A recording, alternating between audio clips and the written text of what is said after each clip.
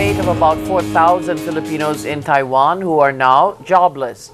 As Pia Gutierrez tells us, these workers are affected by the diplomatic row over the fatal shooting of a Taiwanese fisherman last May.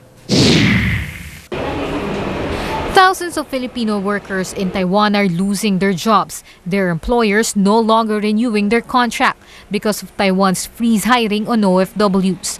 MECO, or the Manila Economic and Cultural Office, the Philippines' de facto embassy in Taiwan, says since May, the contracts of 4,000 OFWs in Taipei were no longer renewed. More Filipinos in Kaohsiung and Taichung could join them. yung mga vacancies that are being left by Filipino OSW. Vietnamese kaagad ang sumasalo. These OFWs who are processing their work visas have applied for their work permits before the May 15 freeze. But according to Taiwan, as long as their conditions have not been complied by the Philippines, the restrictions still continue. Taiwan says it is still waiting for the results of the NBI's probe into the fatal shooting of a Taiwanese fisherman by the Philippine Coast Guard in disputed waters off Batanes.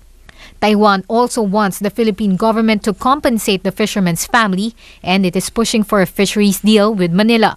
Once we get the positive response, we definitely will lift all the sanctions. This means we'll uh, restart issuing uh, permit to OFW to work in Taiwan.